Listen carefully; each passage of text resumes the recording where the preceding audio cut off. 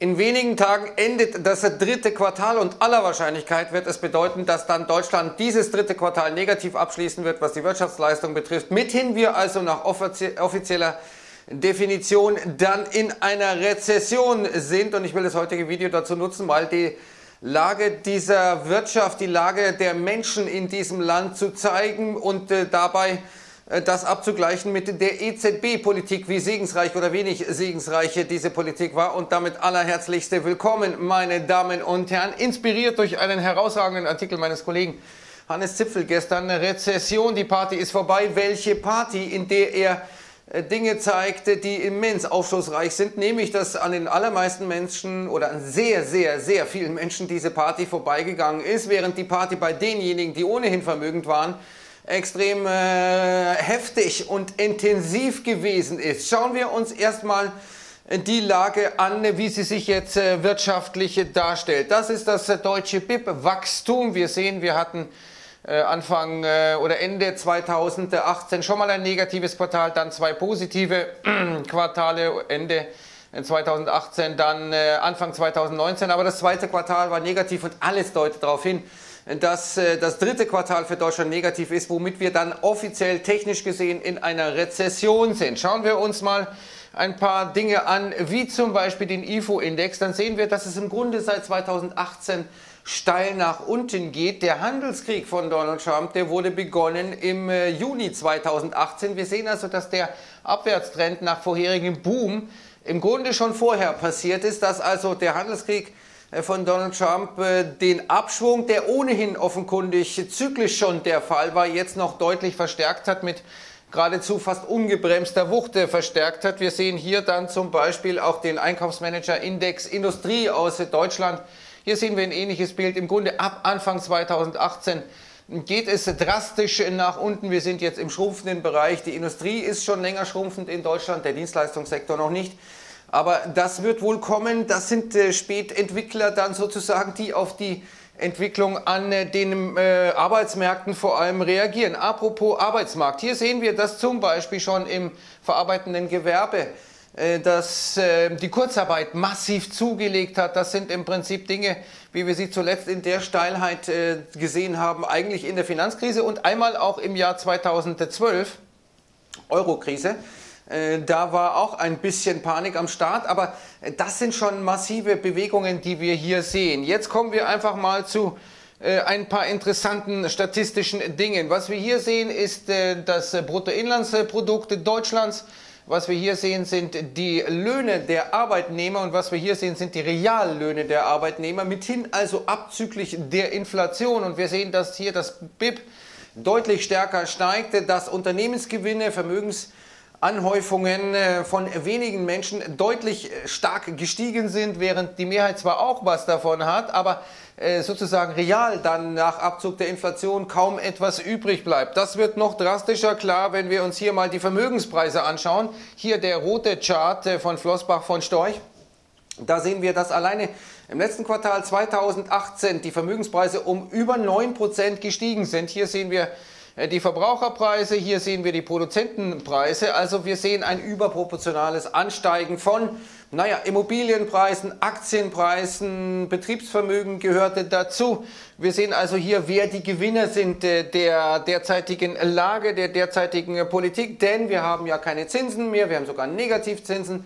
Also werden diejenigen, die wenig Vermögen haben, wie sollen die sozusagen äh, Vermögen anhäufe. Über Zinsen geht das jedenfalls nicht. Wir sehen dann äh, auch äh, folgende Grafik, die ich Ihnen zeigen möchte, nämlich die Nominallöhne, Reallöhne und die Verbraucherpreise. Wir sehen hier die Reallöhne rot. Da hat sich nicht so wahnsinnig viel getan. Da passiert nicht so wahnsinnig viel. Schauen wir uns dann mal die Vermögen in Deutschland an, da sehen wir hier, dass die obersten 10% oder die reichsten 10% besitzen zwei Drittel des gesamten Vermögens, während etwa ein Viertel der Deutschen gar kein Vermögen besitzt oder sogar negatives Vermögen, mithin also Schulden hat.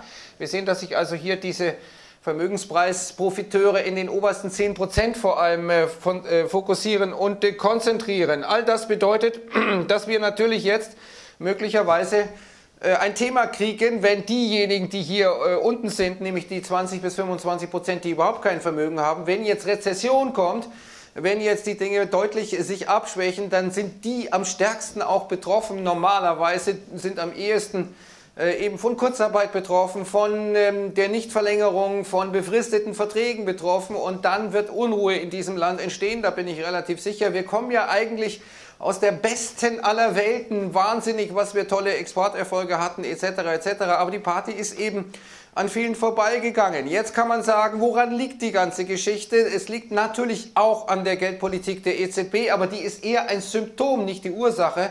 Die Ursache ist die, dass wir westlichen Gesellschaften stetig an Produktivitätswachstum verlieren. Wir werden weniger produktiv. Das ist das Grundproblem, das Clemens Füst als einer der ganz wenigen wirklich klar benannt hat. Wir haben eine immense Verschuldung, vor allem die sogenannte implizite Verschuldung, also praktisch die inländische Verschuldung, Finanz-, äh, Pensionsversprechen etc. etc. Äh, und die müssen wir stemmen angesichts einer kleiner werdenden Arbeitnehmerschaft, die immer mehr Nichtarbeitende wird versorgen müssen und auf der anderen Seite eben die nicht vorhandenen Produktivitätsfortschritte. Das ist das große Problem.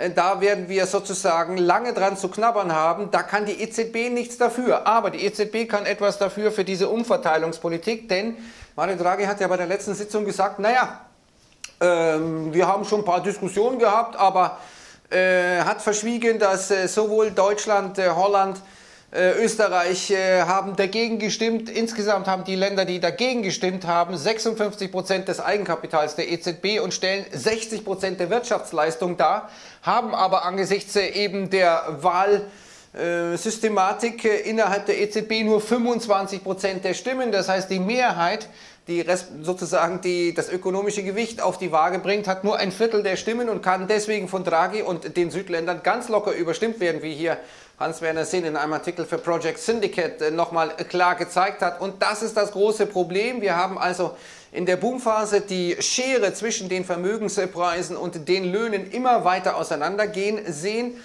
Jetzt sind wir in der Situation, dass die EZB mit derselben Medizin versucht, das Problem anzugehen und äh, nicht wirklich einsehen will, dass die Medizin, die sie bereits äh, gegeben hat, nicht wirklich wirkt. Wir sehen, dass die Kreditvergabe zwar ein bisschen gestiegen ist, dass aber die Banken nach wie vor genauso viel Geld parken bei der EZB, sogar viel mehr noch, als bevor es diese negativen Einlagenzinsen gibt. Also es ist schon sehr merkwürdig, äh, dass äh, die Ideologen innerhalb einer Notenbank in der Lage sind, die Realität so komplett auszublenden und zu sagen, naja, nicht unsere Ideologie ist falsch, sondern dann ist die, äh, eben die Realität falsch und da wird sich dann einiges ändern müssen. Schauen wir uns jetzt abschließend nochmal ähm, am heutigen Verfallstag an den Märkten, äh, wo es wenig neue Nachrichten gibt. Wir haben in China eine Zinssenkung bei den einjährigen Ausleihen, nicht aber bei den fünfjährigen, was ähm, der Markt erwartet hatte. Ansonsten wird wohl wirklich äh, eine chinesische Delegation in den Mittleren Westen reisen, um äh, Landwirtschaftsproduktkäufe vorzubereiten. Man will einen kleinen Deal machen, heißt es, aber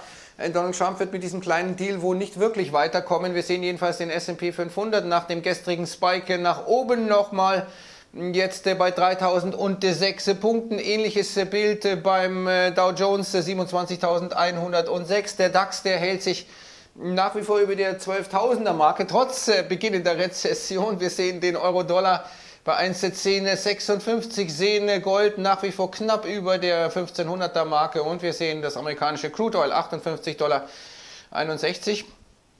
Wir haben äh, jetzt äh, die Situation, dass die Saudis eigentlich reagieren müssen. Die Schuldzuschreibung steht fest. Eigentlich muss da was kommen, sonst fühlt sich äh, möglicherweise der Iran ermutigt. Schwer vorstellbar, dass diese Technologie wirklich von den Houthis kommt. Das muss irgendwer zugeliefert haben, da muss irgendwer äh, die Dinge hier gesteuert haben und das kann eigentlich nur der Iran sein. Jedenfalls äh, ist das jetzt eine prekäre Situation. Der Ölpreis hat vielleicht ein Abwärtspotenzial von 2, 3, 4 Prozent nach unten. Äh, wenn nichts passiert, aber wenn was passiert, dann hat er vielleicht 20, 30, 40 Prozent nach oben. So wäre etwa meine Einschätzung. Also, das ist Deutschland zu Beginn der Rezession.